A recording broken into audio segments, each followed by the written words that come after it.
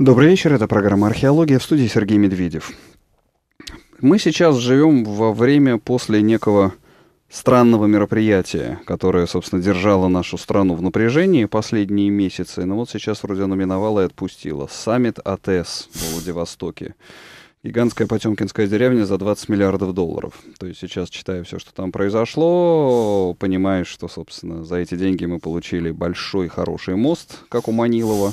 Даже а, два. Даже, даже два. Даже два, да. да получи, получили великолепную канализационную систему в Владивостоке, ну и, собственно, какие-то, так сказать, большое количество мыльных пузырей. Ну, так университет еще. Ну да, универ, уни, университет. Новый, новый кампус университета. Новый кампус университета, да, вот уже мои гости мне подсказывают, так что э, уже сразу представлю наших сегодняшних гостей. Это профессор Высшей школы экономики Алексей Скопин. Добрый вечер. И сотрудник, научный сотрудник географического факультета МГУ Андрей Трейвиш. Добрый, Добрый вечер.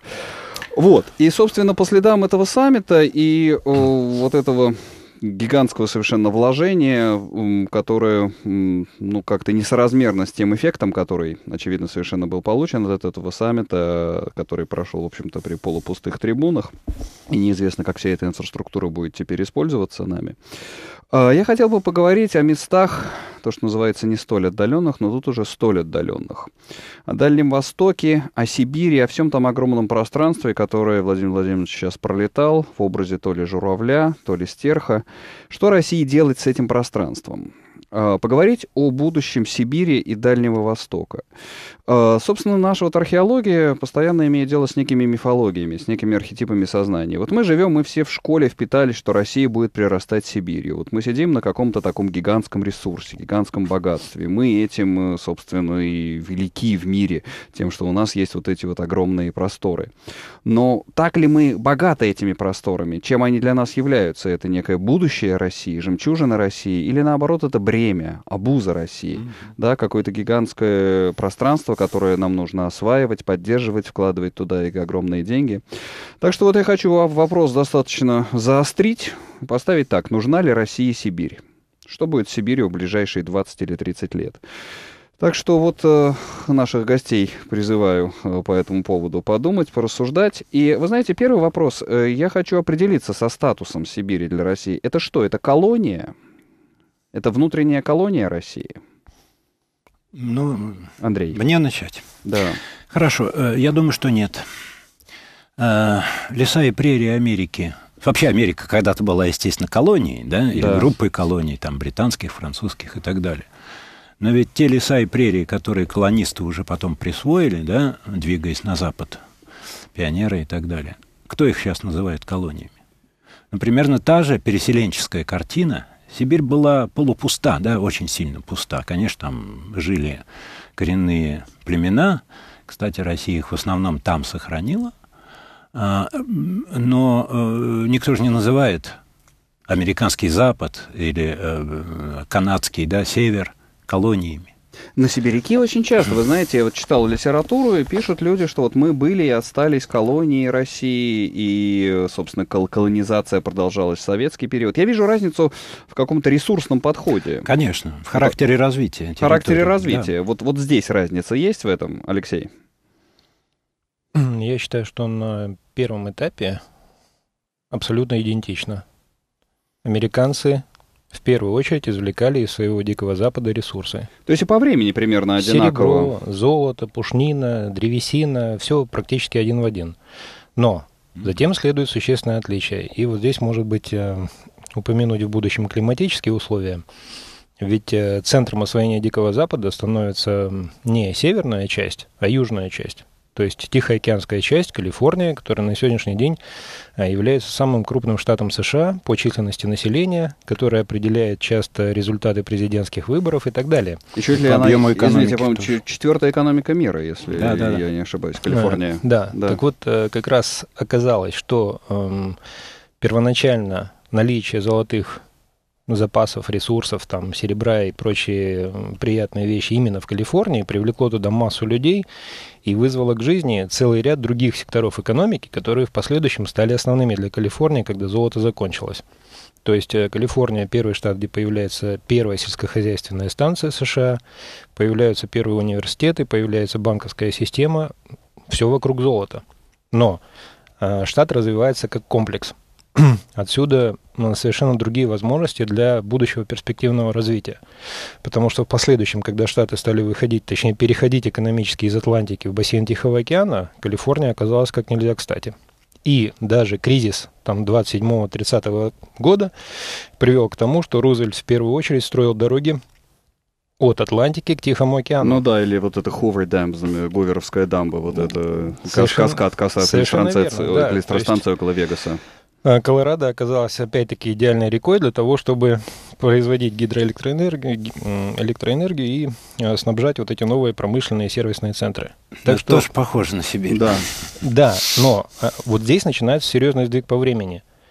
Если там это происходит в конце 19-го, начале 20 века, то мы только в середине 20 века приступаем как раз к аналогичному освоению Сибири. То есть уже, уже комплексному. Да. Не только извлечение ресурсов. Абсолютно верно. Юг Сибири тоже начинает развиваться как комплекс. Но все равно мне кажется, что вот э, глядя на американский фронтир, э, ну, конечно, 16, 17, 18 век, много, наверное, американские форты, наши там остроги, как это все у них, э, все эти пионеры у нас казаки, борьба с туземцами там и тут. Поморы больше. Да. И, и шли за одним и тем же ресурсом, пушниной вначале. Шли за пушниной. Но там, мне кажется, степень освоения этой территории была гораздо более глубокой, и территория как-то заселялась сплошным образом. У нас же Сибирь, вот глядя на Сибирь, это какая-то архипелаг, да, вот как даже uh-huh. Солженицынская метафора, ну некая uh-huh. россыпь каких-то. Да я бы сказал, не совсем так, не совсем равномерно. Середина штатов ведь полупустая. Да, угу. по их меркам, То есть по переселенцы мере. с Атлантики? Получилось просто два полюса. Один да. более старый, до сих пор все-таки более мощный, взятый в целом, это восточный, да, восточное побережье, и западное, очень быстро развивающееся, но все-таки уступающее по, по многим параметрам э, восточному угу. традиционно. Но два полюса. А у нас все-таки полюс один. У нас шло с одной стороны, да, вот э, на восток. Э, и э, вот одна из бед России, проблем таких фундаментальных историко-географических, состоит в том, что мощного полюса развития на Тихом океане ведь мы не создали. Абсолютно согласен с Андреем. И с этой точки зрения, при всем, э, конечно, подозрительном отношении к затратам на саммит и так далее, вообще-то любые инициативы по развитию Дальнего Востока полезительны в этом смысле. Uh-huh. А, возможно, а возможно ли было создать там полюс? Все-таки степень удаления другая. Что такое там в Америке? Ну, там 3000 миль, да, где-то 4,5 тысячи километров. А у нас сколько там Москва-Владивосток? 8 тысяч? Ну, в два ну, раза знаете, практически. Ина- иногда это парадоксальным образом в истории э, получалось. Вот та эпоха, когда не было не то, что железной дороги, вообще очень долгое было сообщение, это, да, там перекладными ехали там месяцами и так далее. А, зато это, но зато плавали. И как раз вот эта вот первая половина, особенно XIX века, угу. вот этот долгий каботаж, по сути, через океаны, он же очень способствовал русским морским, э, русскому прогрессу на, на океанах. Тогда была куча открытий, там, Антарктида, ну и так далее и тому подобное. Ну, это, конечно, от беды, что ли, от, от ну, удаленности да. этой самой. Ну, потому что, конечно, когда русско-японская война была, эта удаленность и сыграла. Трансип еще не был закончен, да, и пока да. мы там плыли до Цусимы... Но он уже был, просто, конечно, огромная растянутость этих коммуникаций. Современное позорище состоит в том, что сто лет можно пересечь страну по широте по железной дороге, а по автодороге трудно до сих пор, несмотря на все усилия, там, поездку Путина, ну и так далее и тому подобное. Ну вот да, вот все-таки продолжая это, Сибирь стала частью, ну как бы это выразиться, внутренней территории России, мейнлендом таким. Потому что, ну, я не знаю, рассматривая Калифорнию в Америке, все-таки Калифорния ближе привязана. Я не знаю, даже взять цены на авиаперелеты, там, Нью-Йорк, Лос-Анджелес. Вот. Сибирь, она, по-моему, и с ценами на билеты, и сложностью железнодорожной невозможностью автомобильной коммуникации. Она по-прежнему имеет понятие материк. Вот Сибирь — это не материк. Ну, вот смотрите, по расстоянию... Не же... Сибирь, а вот Дальний Восток сейчас да, говорю, да. Ну, та же Калифорния — это да. 4000 километров от Атлантики, mm-hmm. здесь э, почти 8 если брать весь Дальний Восток. То есть получается, что расстояние нужно преодолевать в два с половиной-три раза больше. Это раз. Второе. Ведь американцы в свое время совершили вот две гениальные вещи по освоению Дикого Запада. Первое – это Рузвельтовская программа строительства дорог, причем и автодороги, и железные дороги. Вторая. А потом еще более ранняя гениальная идея – это передача земель железнодорожным компаниям, которые mm-hmm. строили железные дороги. У нас э, как бы эта идея ни та, ни другая реализованы не были.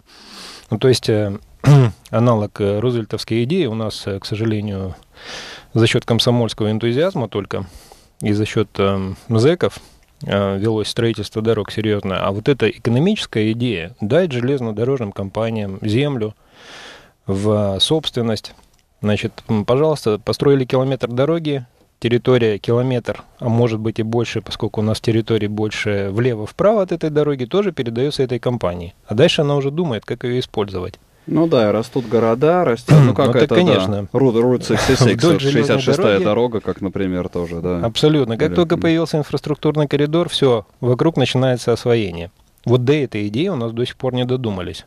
Хотя это простейшая идея, которую можно было бы использовать для освоения этих территорий. Но вы знаете, может быть, вот здесь я э, чувствую какую-то разницу, опять-таки, между Америкой и Россией. То, что развитие это в России принадлежало государству. И идея да. была, что это государственное стратегическое. В Америке это передавалось local communities, да, местным общинам и, или бизнесу. Нет. И они э, вот смотрите, развивали бы... эти города, развивали... Если бы на институциональном уровне, на федеральном уровне не был принят закон, закон о хоумстедах, то mm-hmm, этого да. бы не было.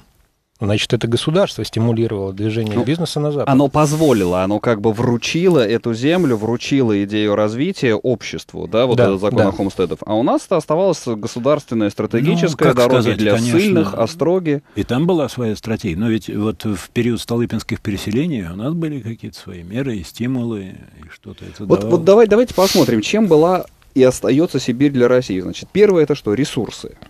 Безусловно. По-прежнему. Там Но была пушнина, стало золото, там не получилось, да, золото много не намыли в Бадайбо, э, стала нефть. Лес, э, потом земледельческая э, волна колонизации, потом, э, да, горно-рудная всякая. Редкие вот сейчас, земли, прежде всего, конечно, углеводороды. Углеводороды. Потом остальное, да. Нет, ну, ну Сибирь дает вот полный перечень ресурсов которые нужны для промышленности. В том числе потенциальных, которые нужны не только для промышленности. А транспортировка Вот смотрите, да, у нас как да. бы страна, как такой разворот книжный. Да? Только стра... Э, Урал, да, вот к западу европейская страница, к востоку азиатская страница. Только они не равны по площади очень. Да? Три четверти это восточная, а только четверть э, по площади это западная, европейская.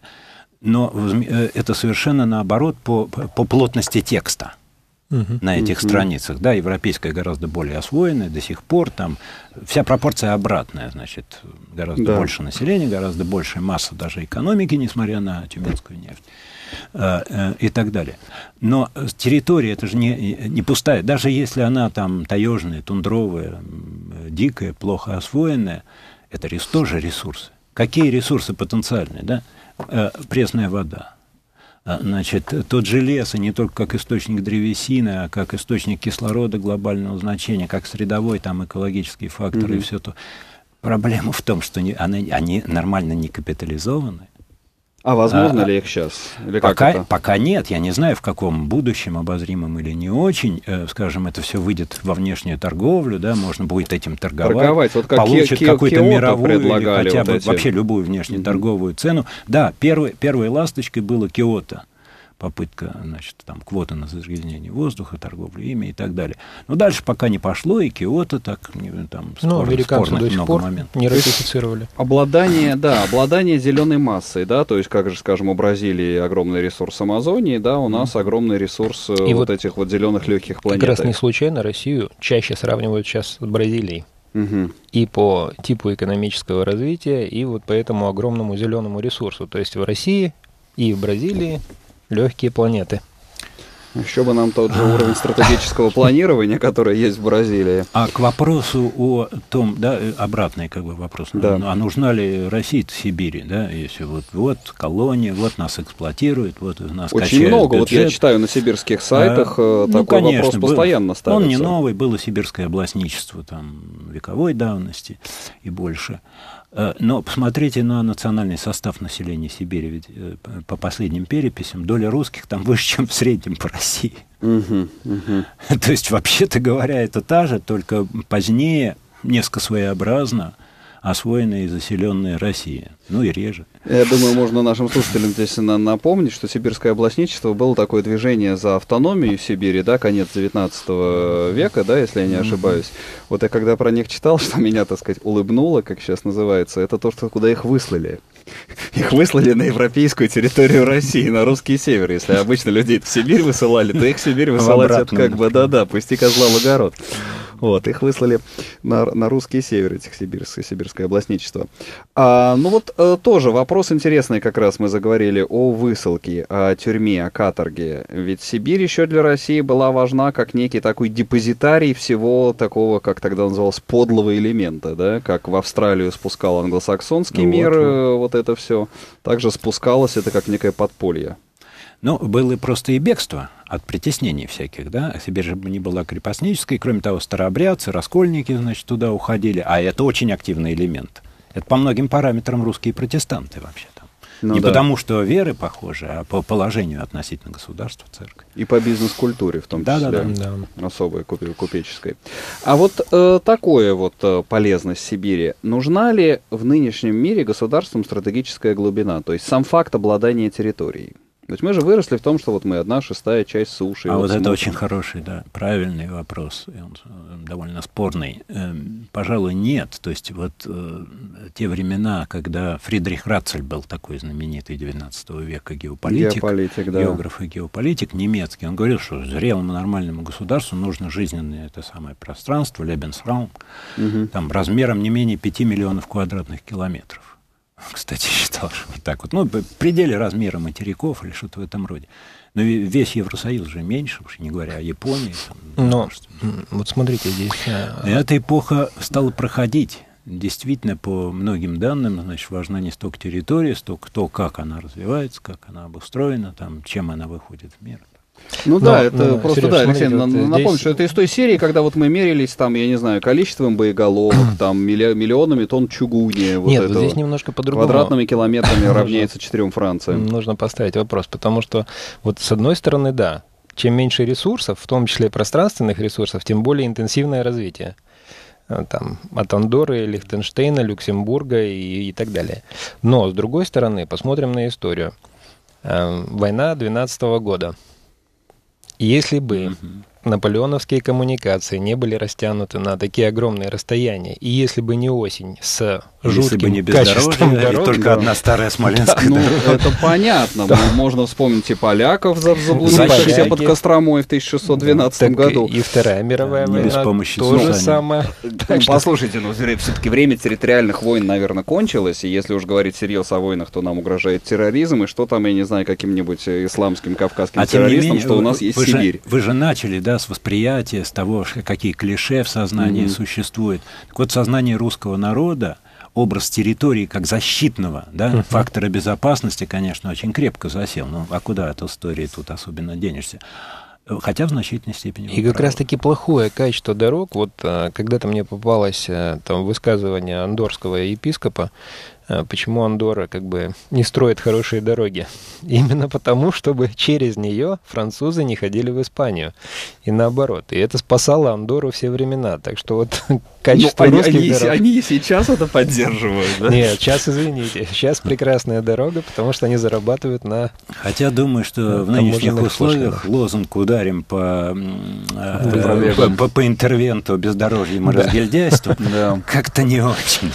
Ну да, ну так что вот вот это вот, глядя на страшные фотографии этой трассы, так называемой федеральной Чита-Хабаровск, да, где, так сказать, пролетел, да, на желтых калинах. Китайцы фигурант. не пройдут. Э, да, вот если, да, если, так сказать, натовские, натовские танки докатятся до, до, до Читы, то до Хабаровска они уже не докатятся. Хотя, знаете, вот упомянут Китай, да, еще одно клише, еще одна типовая фобия, кстати, не, не, не, э, сейчас усилившаяся, но вообще существовавшая тоже уже весь век, наверное, целый, 20-й, это Китай боязнь, или вообще э, боязнь, так сказать, от эра. Да. А, э, там же действительно что-то вроде демографической стены такой стоит на Дальнем Востоке. Наши, причем э, продолжающие скудеть людьми, да, эти просторы. А, и огромный, значит, населенный, да еще очень бурно развивающийся Китай. Так вот, вот это бездорожье, возможно, тоже является в какой-то степени защитным да, фактором от заселения китайцами, которого нас так боятся. Ну, слушай, ну, хотя, я хотя... всерьез это что ли нам все воспринимать, что а, бездорожье а, нас охраняет так, от я имею в виду, угроз что такая, внешнего мира? Что такая фобия существует, и э, в, в качестве, конечно, слабой защиты от нее может быть и такая э, выдвинута. Смотри, здесь не только э, мифология. В советские времена 200-километровая приграничная зона э, была под запретом для дорожного строительства. Поэтому все вот эти до сих пор там в Карелии пограничные переходы mm-hmm. очень мало. Да, да. По всей границе с Китаем очень мало. Это совершенно четкая целенаправленная политика. Потому что после того, как мы вроде бы с Германией дружили перед Второй мировой войной, вдруг так, такой ляп, да, неожиданный, вот он на, на каком-то интуитивно-государственном уровне все-таки заставляет нас принимать решение о том, что приграничные районы mm-hmm. не шибко-то должны быть освоены. А у нас вся Сибирь получается приграничным, приграничным а, районом. проблема, однако, в том, что если взять вот эту часть Сибири и Дальнего Востока, то заселены и освоены, в том как числе раз... инфраструктурно-то как раз территории южной, ну, по ну, понятным да, вдоль, да, вдоль природным вдоль... причинам. А бездорожье начинается уже дальше. Но вот это вот, да, интересно, мне кажется, как любопытно, как из века в век воспроизводится вот этот вот российский изоляционистский такой э, стратегический менталитет. Вот вы, скажем, Карелию сейчас упомянули. Действительно, я часто довольно на поезде езжу в Финляндию, и вот эта вот разительность контраста, с одной стороны, нашей всего карельского перешейка, собственно, так сказать, одичание начинается от Выборга, и дальше уже, так сказать, дороги в никуда ведущие, перегорожены колючей проволокой, все заброшено, леса запущены, зарощены. А финны почему-то так не беспокоятся, хотя, казалось бы, вот, вот уж кому надо беспокоиться, беспокоиться. Там же под самую границу подходят дороги, дома стоят прямо на границе и так далее. Вот это вот наше какое-то ну, русское. это означает, что финны готовятся к расширению. Или может быть, что они... плацдармы. Или может быть, что они свои... Финляндизации Карелии и прочих территорий. Пространственные решения не основывают на страхе, в отличие, в отличие, в отличие Ну, думаю, что эти страхи преувеличены, но у нас еще существует такой привычный еще э, попытка решить старым способом э, э, проблемы, да, вот такого вот неравновесия, там вот той же демографической, китайской великой демографической стены, там, как, надо переселенцев, надо откуда-то взять. А знаете, сколько надо взять, чтобы выровнять э, плотность населения вот, э, смежных только регионов России, вот той цепочки областей да. и краев, которые вдоль этой самой восточной границы протянулись, э, с китайской плотностью? Миллионов 500. 500. 500 миллионов. Это вся Европа. Mm-hmm. Вся зарубежная Европа. Да, вот а, только так что, что взять некуда. А, там Приморского края говорил, что в приграничных районах 300 миллионов китайцев, да. которые вот готовы при отмашке первой двинуться вперед. Но... На самом деле не очень-то они готовы, наверное. Причем, ну да, причем там э, вроде как э, тоже довольно сильное демографическое давление, не так э, высока возможности рынка, как на при, при, в прибрежных районах Китая, вот в тех вот, э, которые бли, близкие с Россией. А с нашей стороны, если я не ошибаюсь, там сколько там, 8 что ли миллионов человек живет э, вот в этих... 6 вот, э, уже. Ш, уже 6, да, 6, 6, 6, да? то есть 6 Всего против 300. 6. А граница, собственно, это осматическая мембрана, да, это не железный ну, занавес. Ну, кстати сказать, вот эти вот наиболее более развитые китайские провинции, которые примыкают, там Хэлунзян, там mm-hmm. Гирин и прочее, они вообще старпромышленные, довольно депрессивные в Китае по сравнению да. с более южными. Ну, я и говорю, что там высокая безработица вот в этих да. вот э, приграничных.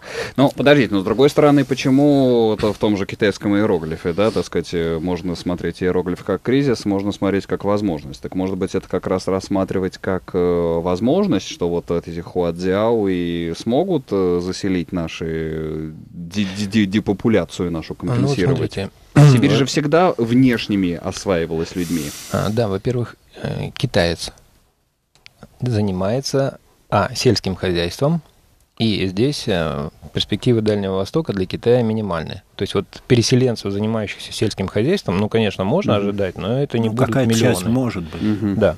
Второе, промышленность. Э, что промышленность депрессивная у нас на Дальнем Востоке, что у них. Э, работать в промышленности особо нечего. Но э, возникает совершенно мощное взаимодополнение абсолютно безлесного Китая огромным лесным массивом всего Дальнего Востока. Дальше ограниченность углеводородных ресурсов в Китае и огромное количество. То есть вот ресурсы наши, рабочая сила их, вот здесь возникает действительно бизнес-проекты, масса бизнес-проектов. Дешевая китайская рабочая сила на ресурсных предприятиях. Ну вот опять, Востока. опять мы, да, опять мы с вот эту вот только, в ресурсную нашу парадигму сваливаемся. Нужно учитывать несколько обстоятельств, э, которые, в общем, и благоприятны для нас, и не очень. Первое. Э, значит, э, э, Китай действительно, по крайней мере, вот официальное его отношение к России, оно примерно такое его можно реконструировать, не столько вычитать напрямую. Значит, это прочный стратегический сырьевой тыл Китая. Да. да вот великой в, в мировой фабрике, там, которая угу. лидер вообще 21 века и так далее. Это вроде спокойно. С другой стороны, Дело в том, что Китай, когда инвестирует за рубеж, это в отличие от западных ну, инвестиций, это в основном государственные. Угу. Вот. А государственные, они предпочитают действительно свою рабочую силу затаскивать там. Не приглашать каких-нибудь тех же вьетнамцев. Ну, Ведь ну, нормальная для нас и не опасная геополитически, если всерьез это брать, эту угрозу стратегия, это все-таки определенное через, пусть и заселение даже и иностранными да, работниками, но желательно через полосные. Здесь вьетнамцы, там китайцы, здесь индусы, здесь там кто еще? Таджики, да, узбеки. Да, да, среднеазиаты наши. Да. А, вот. И третий обстоятельства. Китай все-таки не готов платить скажем, евро, да, вот у нас два направления экспорта природных ресурсов, но на многие из них Китай не готов платить ту же цену, которую мы получаем Конечно, за... Да. Вот, там все-таки свои, э, там долго... Ну, страна mm. не настолько богатая, что... Но Китай готов инвестировать. Практически все наши новые нефтяные трубы, газовые трубы за китайские деньги построены. И, естественно, в ближайшие 10-15 лет мы особого дохода от этого экспорта не получаем, потому что эти деньги идут в оплату китайских инвестиций. Ну что ж, о роли Китая и вообще о стратегическом будущем Сибири поговорим после небольшого перерыва. No. Ну. И снова добрый вечер. Это программа «Археология». Сегодня у нас разговор об экономической географии. Нужна ли России Сибирь? В гостях у нас э, географы, экономисты-географы Алексей Скопин из Высшей школы экономики и Андрей Тревиш из МГУ. Вы знаете, сейчас хочу вспомнить такую книгу, которая в свое время, в общем, бестселлером была э, Алексея Паршева. В, уже лет 15, наверное, тому назад он ее издал под названием «Почему Россия не Америка?».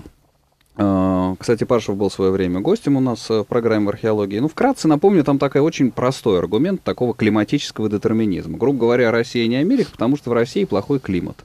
Америка лежит э, там, я не знаю, примерно сколько, на тысячу километров, э, градусов. да, на 10 градусов южнее России. У нас холодные долгие зимы, у нас плохие почвы, у нас, чтобы строить э, здание, нужно фундамент заглублять на 2 метра в землю, а в Америке, вон что, бизнес какой, поставил вообще картонную коробку на землю, вот тебе и бизнес.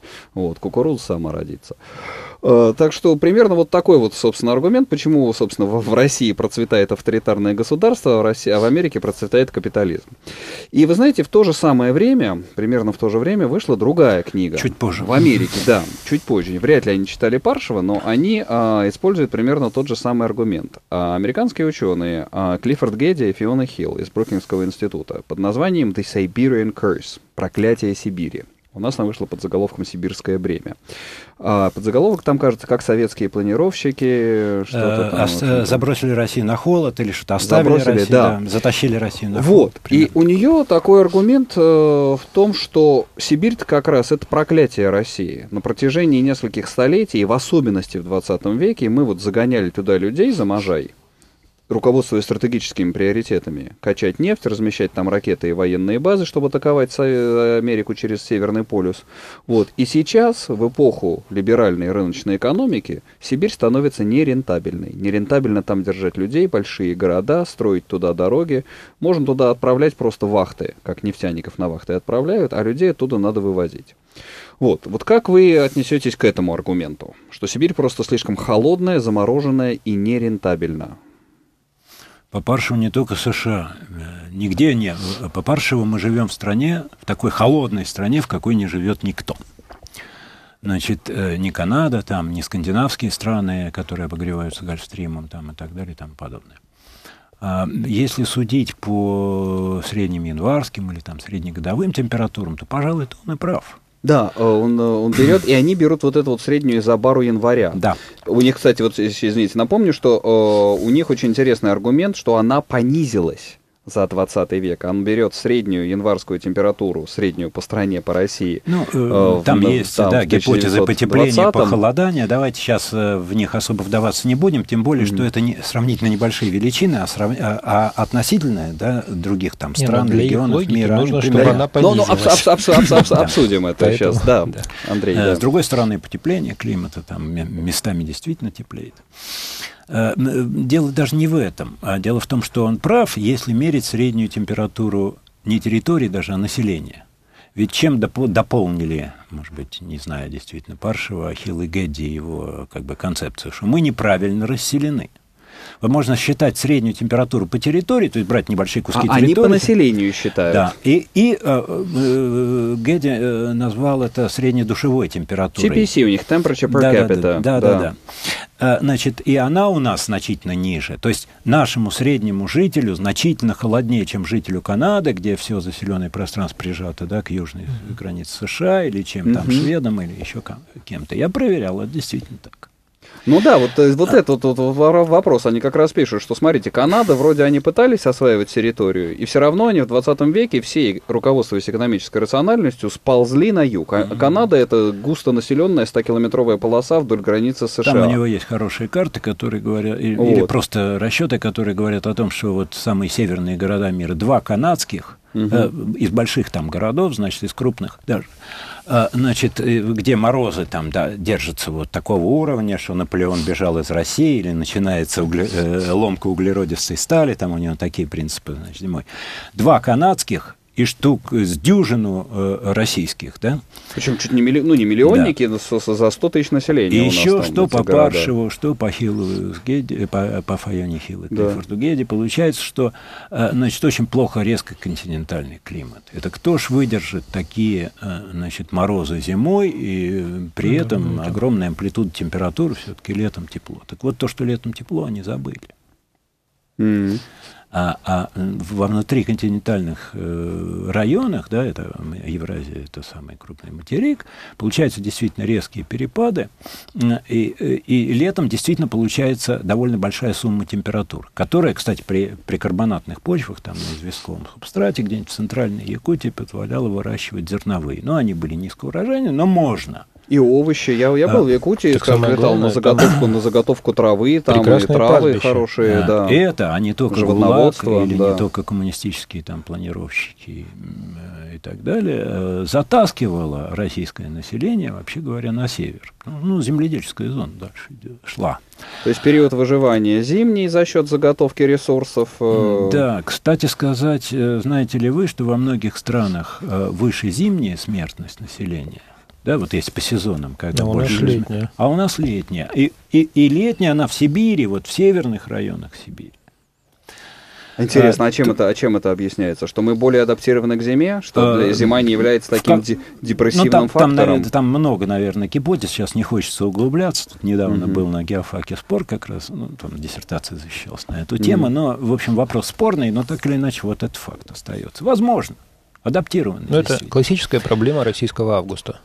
Все плохое как раз э, приходится на самом деле. Бывают разные причуды. Вот в Китае, знаете, кто считается самым морозоустойчивым? Южные китайцы, а юг у них считается южнее от русла Янзы угу. вот, на восточных равнинах. Почему? А потому что там э, нормативно нет зимой отопления центрального угу. в домах. То же и, самое у европейцев. И они более закалены. Русский, приезжающий зимой в Европу, страдает от жуткого холода. Да, да, да. Мы привыкли с открытыми форточками в, в крещенские морозы сидеть, а у них там экономия. Вот а, на самом деле, с моей точки зрения, а, если есть какой-то экстремальный фактор, и население проживает то есть вынуждена с этим фактором справляться, то он вообще-то действует не во вред, а в благо. То есть э, люди начинают приспосабливаться. Ну, скажем, э, с нашей точки зрения, японское экономическое чудо и безумные землетрясения, они вот э, никак не сочетаются. На, на самом деле как раз получается наоборот. Та же Калифорния, это зона высокой сейсмики. Но Нет, это... ну да, понятно, что чем тяжелее условия, собственно, да, и многие объясняют экономический подъем Европы, Но... начиная с 16 ну, века, так... малым ледниковым периодом. Ну, Европе пожалуйста. похолодало, люди адаптировались. Да. Ну, а кроме того, просто природа Земли разнообразна. Извините, что немцу хорошо, то русскому смерти и наоборот – как известно. И я вообще не знаю, какой климат лучше. Я да. помню, как какая-то шотландская коллега, э, она, правда, была англичанка по происхождению, но вот работала в Шотландии. Говорит, у нас началась весна. Это наша шотландская. Вы не представляете, какая это мразь. Значит, та... То есть вообще климат Северной Атлантики, какой-нибудь Исландии, других там островов, где нет ни лета и зимы, и все время вокруг нуля ходит температура. Он шел лучше, когда, да, наша привычная русская ну, зима, вот лето. Смотрите, лучше, лучше Кто хуже, это привык? субъективные, конечно, вещи. А если объективно посчитать транзакционные издержки экономические? Вот еще раз, логика Хилл и Гэдди. То, что канадцы, они сравнивают э, Россию с Канадой. Канадцы, грубо говоря, весь 20 век э, мигрировали, сползали, сползали к Америке и расселились в этом более развитом... Нет, они на, они на север-то сильно никогда не заползали. Ну, они не шли, они, но, собственно, они... остались. Они шли, конечно. Нет, а, а Россия вся переехала туда. Сначала зэки ехали с ГУЛАГом, потом комсомольцы-добровольцы, и мы получили все эти города-миллионники, и вот эти, понимаете, наши рассказы из Якутска зимние, когда там вообще, ну что такое, скажем, поддерживать инфраструктуру коммунального хозяйства в Якутске? Дорого. Где люди вообще иногда машины заводят в сентябре и глушат двигатели правда, в мае. Правда, общий вывод о том, что Сибирь там экономически неэффективна, ну, да, это надо содержать. Вы скажите это нашим нефтеэкспортерам. Да. А с другой стороны, в этом есть доля правоты, потому что тут голландская болезнь. Э, вообще для, для развития России, да, вот это вот ресурсное изобилие, оно уже ресурсное проклятие, да. это же не только нас касается. Вот называется голландская болезнь, хотя голландцы, конечно, не страдали в такой стоп, стоп, мере, ну вот, как смотрите, другие нефтеэкспорты. Немножко не согласен. Ведь э, свободный рынок что делает? Он заставляет страны использовать те ресурсы, которые в избытке. На территории России 25% мировых запасов природных ресурсов. Угу. И что мы делаем? Мы отказываемся от освоения ресурсов, но ведь как раз-таки свободный рынок заставляет нас использовать ресурсы в первую очередь. Ну, они же далеко. Понимаете, что такое, скажем, ара- арабская нефть, где там воткнул палку в землю, забил фонтан, и через 100 километров вот тебе нефтеналивной этот самый терминал, и туда подошел норвежский танкер водоизмещением 400 ну, хорошо, тысяч тонн. если они тратят на баррель 3 доллара, а мы 16, то при цене 100 Mm-hmm. Все равно это выгодно. Ну, ну когда а... наступает 98 год, да, и цена падает ну, до, до, до 9 долларов за плохо, баррель. Плохо не то, тогда да, другое дело. Плохо не то, что мы используем эти ресурсы, а плохо то, что мы стали очень от них э, зависимыми во внешнем. Ну, это, вы знаете, вот это продолжу вот эту идею, что вот нефтяникам э, нужно. Да, нефтяникам, положим, нужна, хотя, конечно, я тоже слышал, что нефтяникам не сильно нужно то, что дальше Тюмени и Ямало-Ненецкого округа. Вот, ну, потому что уже восточно-сибирская нефть. Ну, вот смотри, сейчас штокмановское месторождение. Мы даже штокман-то не можем освоить, не понимаем, как вообще бурить на 160 метров и как, да. как же газы сжижать. Да. А, вот.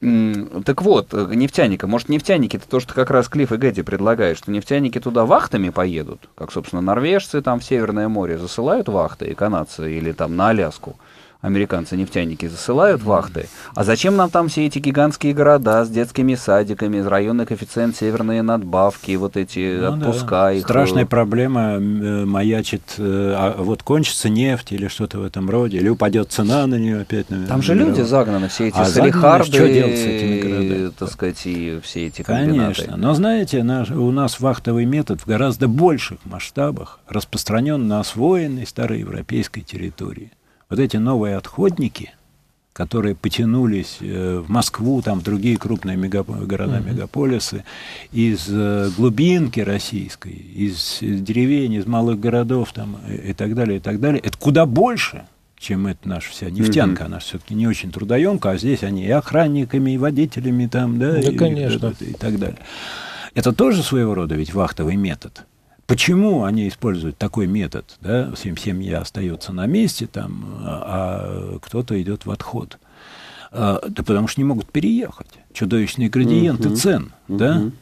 А, тут проводились некоторые обследования. Они, правда, говорят, что и не хотят уезжать из своих там малых родин, из деревень и так далее. Потом у них есть возможность там личное подсобное хозяйство там содержать и в то же время зарабатывать в городах. Но на самом деле это социальная проблема. Причем она гораздо масштабнее да, по людям, чем вот мне... чем там. Потому что, э, значит, смотрите, человек выпадает и из местной жизни, вот из, из своей малой родины, ну, да. и из той, где он, он тут не интересен властям, тут ему нет медицины там и того всего прочего. Он не участвует очень часто вообще в выборах, потому что, опять же, он не там нету. Часто распадаются семьи, то есть. Вот... Ну да, вот это, кстати, колоссальная проблема при вахтовом методе освоения семьи, с, э, сохранения устойчивой семьи. Потому что если две недели ты отсутствуешь в семье, то дети, супруга, а, родственники, знакомые и так далее, и так далее, они находятся, ну, в некотором по отношению к тебе таком странном состоянии. Ну да, да. И, кстати, вахты, насколько я знаю, у меня есть несколько знакомых, которые, вот, скажем, в Норвегии там таких работали на вахты. Угу. В основном это одинокие холостые мужчины, Абсолютно молодые, верно. которых отправляют. Семейных там очень мало, вот, которые на платформы да. засылает, статуил. А, ну и потом в России есть же еще одна проблема жуткого пьянства. Потому что если мужику нечем себя занять, э, не может же он 24 часа работать, да, то что он делает вечером? Это хорошо, да, семья, семья как, э, как бы гарантия от пьянства. Да. Это надо еще аргумент, аргумент сторонникам Петра и Февронии. А, но все-таки, вы знаете, вот я здесь а, просто сейчас думаю уже стратегически о будущем Сибири, учитывая те тренды, которые сейчас есть в нашем государстве. А государство наше, я думаю, согласитесь, на глазах становится а, анти, не асоциальным, а антисоциальным, учитывая те... Скоро в Конституцию переписывают. Да, да, учитывая то, что нас ждет ЖКХ, то, что нас ждет с образованием, то, что нас ждет со здравоохранением. Вот. И на этом фоне, мне кажется, что проблемы депопуляции Сибири и выживания сибирских вот этих дальних городов, которые могли существовать в советской перераспределительной структуре всего этого северного завоза и так далее. Э, а сейчас, когда там, я не знаю, банк сардин, наверное, там по 200 рублей э, стоит, э, и буханка хлеба по 100, а, как в дальнейшем вообще Россия может позволить себе содержать вот эти вот все далекие распадающиеся города? Сереж, все-таки смотрите, вот она не содержит. Они содержат всю Россию. Они содержат. Вот в чем главный... Но мы же живем на ресурсах, а ресурсы у нас где? 60% валютной выручки дает нам нефть, газ, уголь. То есть они содержат Россию. Они позволяют выплачивать пенсию и так далее. Это... Именно отсюда происходят разговоры о том, а нужна ли вот э, коренная европейская Россия, а вот, Сибирь. А вот Может, да, правда, правда продолжить, продолжить это. А насколько вообще э, вероятна угроза сепаратизма? Минимально. Там в 90-е играли с этой идеей. А вообще, насколько, скажем, э, политический профайл вот этих вот регионов, они какие? Они пропутинские, провластные? Ну, как по, голосуют По Сибирь? выборам пропутинские. По выборам, э, да, скорее вот они такие. Э, социальный профиль тоже не менее важен. Именно на нем э, есть такая безумная почти идея у уважаемого коллеги Александра Николаевича Пелясова, который недавно опубликовал сравнительно книгу «И последние станут первыми», а он как раз, он специалист по северу. Да. И он пишет примерно такая очень упрощенная его аргументация, что там же население моложе, да, это мигранты угу. недавние сравнительно, оно более энергичное, чем вот в этой глубинной ядровой России, где остались действительно угу. часто бабушки да алкоголики. Угу. Значит, и э, вот это инновационный, креативный потенциал там же есть. Поэтому вот последний станет первым. Я, правда, несколько скептически к этому отношусь. Я что-то не встречал случаев, чтобы э, первые э, легко сдавали свои позиции последним. А, значит, будут упираться те же самые мегаполисы да, европейской части, эти города с, с, исторические, с огромным этим ну, ну, так, багажом. Да. Но, э, но, но какие, какие-то аргументы этого рода есть. То есть... Здесь вот я просто приведу российскую традицию. Она в чем стоит? Если федеральные органы власти приходит команда из региона, то большая часть ресурсов всей России направляется в пределы этого региона. Пришли уральские с Ельциным, значит, Урал немножко там восстановился. Питерские пытаются сейчас определенную часть ресурсов направить на развитие.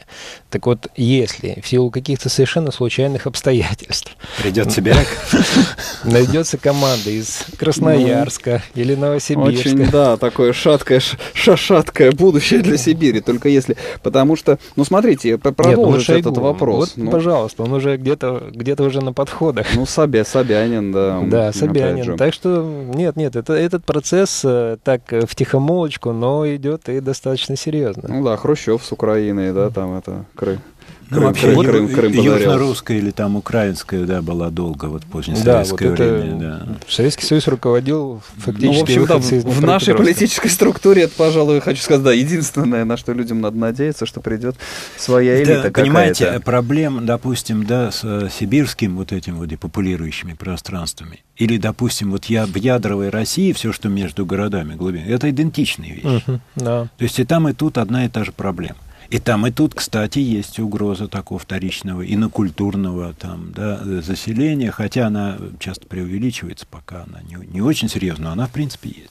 Ну, а, да, но все-таки насколько в силах России удержать Сибирь. Вы знаете, вот я э, даже по своему опыту вспомню, пару лет назад я ездил по э, сибирским, вообще по различным российским университетам, и в том числе там был и в Томске, и в Новосибирске, в различных там образовательных институциях Кемерово. Э, и вот меня потрясло то, насколько люди ориентированы на Китай. Там даже вот студенты говорят, вы знаете, они как бы не приходят на первые пары, а почему? А они ночью, значит, на китайских рынках, там время разница с Китаем, они mm. или сидят какие-то программы, срочно там компьютерные решения, то есть Дети все компьютерные... учат да, китайский. Да. да, учат, но они не учат, они уже работают конкретно на китайских заказчиков в то время, когда в Китае бизнес-день идет. Вот. И меня потрясла совершенно, а я там с какими-то евросо... евросоюзовскими там проектами приезжал, говорят, есть такие вещи, там э, можете там ТАСИС подавать. А они их не интересует, их не интересует Евросоюз, их не интересует даже Москва, по большому счету. Вот им интересен ближний китайский рынок.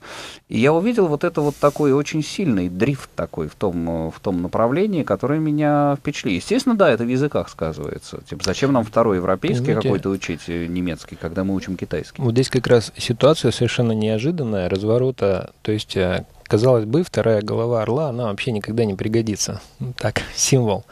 Но вот сейчас эта вторая голова из политического символа превращается в совершенно конкретный экономический символ. Супердержава все-таки растет. Потому что мы до сих пор недооцениваем значение АТР вообще в мировой экономике. А центр мировой экономики и центр глобального экономического роста именно там – Угу. И Но... давным-давно уже нужно было развернуться в этом направлении. Просто люди, вот, с которыми контактируете, да, они уже давно это поняли и уже давно это начинают реализовать. А вот государство у нас тупо упорно отворачивалось от этого направления. Ну а как развернуться? Что вы, что вы видите? Э, очередные ну, какие-то гигантские мегаломанские государственные все проекты? возможные импульсы развития капитала, там, которые только может. Это а, поддержка, и в том числе поддержка образования. Потому а, что... пока, а пока нет китаизации вот, демографической или там, да, чего-то в этом роде, то на самом деле существует такой краевой эффект. Он вообще широко довольно распространен, но я вот сейчас поясню, что это такое. Вот у нас э, с нашей кафедрой э, эконом географии зарубежных стран э, коллега возил студентов на практике одно время по России и все дальше и дальше, угу. вот удаляясь. И они проводили там микроопросы да, на улицах, там, людей. А, и задавали им в том числе такой вот провокационный вопросик. Давно ли вы были в России? Это они спрашивали, значит, на Урале, в Западной Сибири, потом в Восточной Сибири. И э, доля тех, кто не возмущался против самой постановки, да, так мы же и так в России, э, значит, она нарастала потихоньку, где-то до Байкала. Потом они собрались поехать в Забайкалье и на Дальний Восток и думали, что там она достигнет да, еще более э, да, э, еще сильнее эта закономерность проявится. И вдруг бац, краевой эффект. Там большинство опрошенных возмущались самой постановкой. Мы ведь россияне. Угу. Вот этот граничный, барьерный или краевой эффект, он часто дает себя знать. Это, знаете, как на Украине, в Венгрии или в Испании страшно популярно сало, ну там ветчина, угу, да, свинина. Да, да. Почему? На границе с исламом. Угу. Вот это фронтирный эффект, знаете, отторжение. Вот мы в пику им. А, вот, вот так бывает. Не, ну, так в что в культурном, в культурном смысле Владивосток до сих пор город Нашинский. Город Нашинский, да. Тоже интересно, потому что. Калининграция какая-то, Да. они четко ориентированы в экономике на Польшу, там, Германию и так далее, Мгм. но в своей ментальности и в культуре они ориентированы четко на Россию. Мгм. Не надо То есть- преувеличивать этих угроз вот такого спонтанного. Другое дело, что государство, если там не задастся, да, то эм, э, если уж очень сильно напортачат, так сказать, да, наше, наше руководство там, или по другим каким по стечению внешних и внутренних факторов, если начнет трескаться Россия, э, угроза потерять Сибирь не так велика, но угроза раскола России, как и, как и многих подобных стран, ведь мы же многострановая страна, да, как, как- а Китай что, другой, что ли? По каким линиям э, А, вот угроза я не раскола, раскола России? Какие вы видите? По этническим, в первую очередь, конечно же. Вол- Этнические Вол- рубежи Вол- самые мощные. Волжский пояс ислама. Ну да, что-то в этом роде. Я сейчас не хочу эти сценарии рисовать, хотя в Мгм. свое время пытался как бы их представить. Э, Но неважно, даже не в этом дело. А Сибирь все-таки не, не, не самый опасный регион. Но, но, но вслед за другими, там, в последнюю или в одной из последних очередей, если такой, вот это об этом надо думать. Нет, ну здесь как О раз э, страны одна из причин авторитарных там жестких режимов России, что на самом деле каждый крупный регион России по отношению к своему ближайшему соседу гораздо слабее. То есть у нас ни один регион без центральной власти не способен противодействовать экспансии внешней. Мгм. Поэтому оказывается, что если центр проводит, э, скажем, де- политику децентрализации, ну, тут же эти внешние экономики начинают э, давить э, внутри российскую региональную экономику. Как только жесткий режим выстраивает вертикаль власти и обеспечивает э, переток ресурсов и как бы защиту, и поддержку и так далее, ну, региональные экономики выживают. Ну, то есть э, патриотизм, грубо говоря, российский патриотизм, и в том числе и русский этнический компонент, сильнее, чем дальше от Москвы, тем он сильнее, и тем э, больше на него власть может положить. Иногда- вот Андрей ну, сказал, что нелинейно это с э, э, неким некой ямочкой Ну да, такой. за Байкалом Да, начинается да, да. резко. Вот до сих пор сокращение, Бывает, а потом на краю резкий рост.